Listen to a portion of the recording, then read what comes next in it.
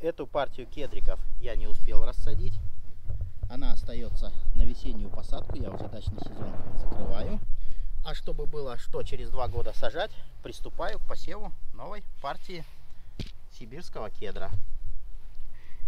Я сибирский кедр сейчас через интернет-площадки Озон и Валберис.